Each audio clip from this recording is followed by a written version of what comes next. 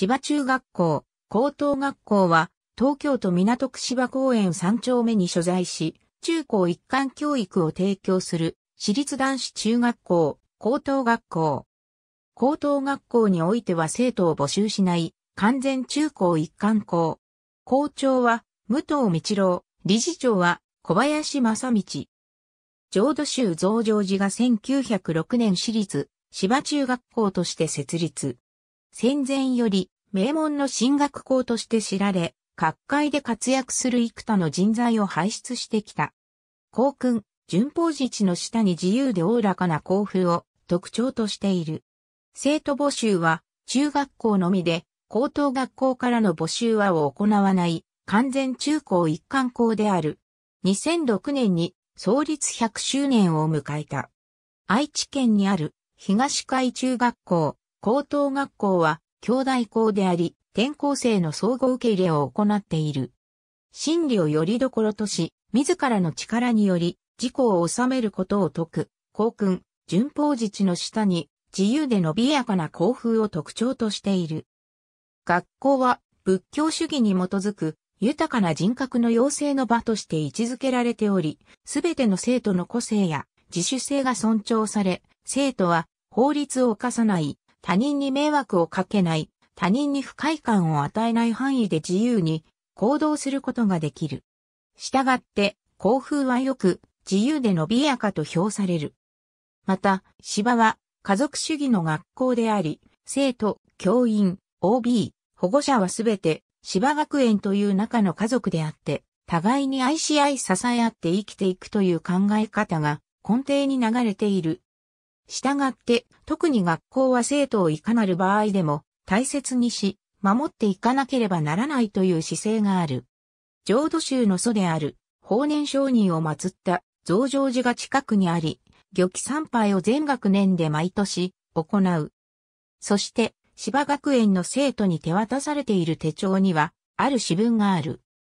完全中高一貫校という特色を活かし、高2までの5年間で各教科の履修内容をほぼ終了させ、高3の1年間で大学受験の本格的な準備を行うという体制が整えられている。古くからの進学校としての歴史、伝統があり、戦後の進学生発足時から東京大学をはじめとする難関大学の合格者を多数輩出し続けている。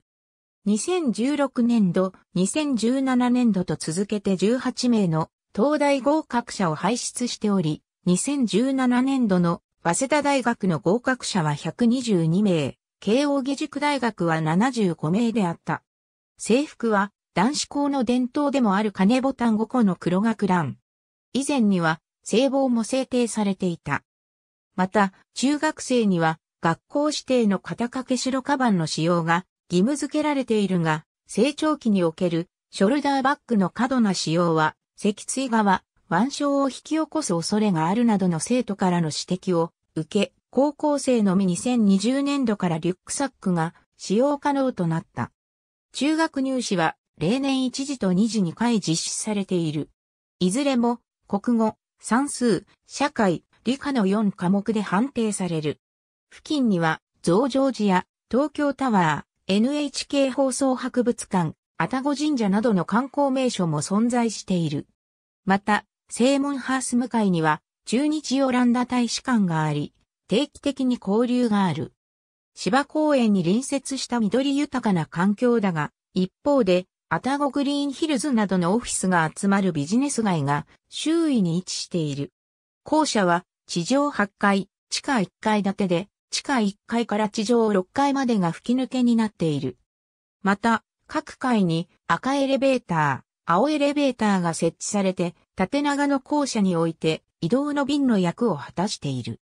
また階段もそばのエレベーター色に対応して、赤階段、青階段と呼ばれる階段があるほか、2から7階で、各学年 E 組隣に非常階段が設置されている。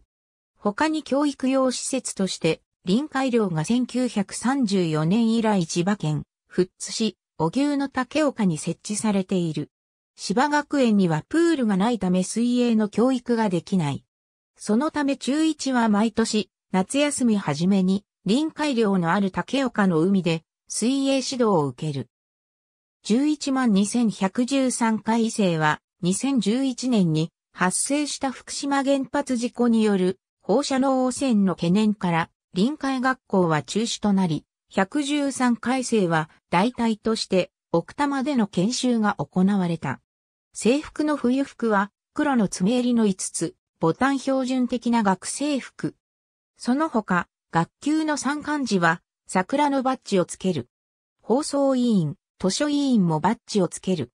夏服はワイシャツに、中学生はグレー、高校生は黒のズボンとなる。また、中学生は伝統ある芝ブランドを継承する白い布製の肩掛けカバンを着用する。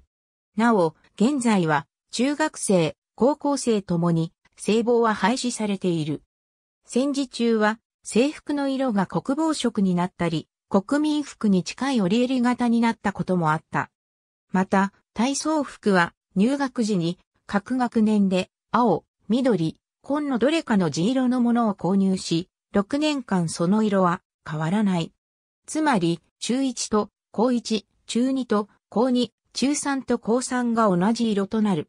2007年度より30年以上続いた体操着が廃止となり、水の製になった。新中1は全員が新ジャージとなるが、その他の学年の生徒は自由に購入とされる。高いパフォーマンスや伝統、OB との固い結束を誇る部活が多い。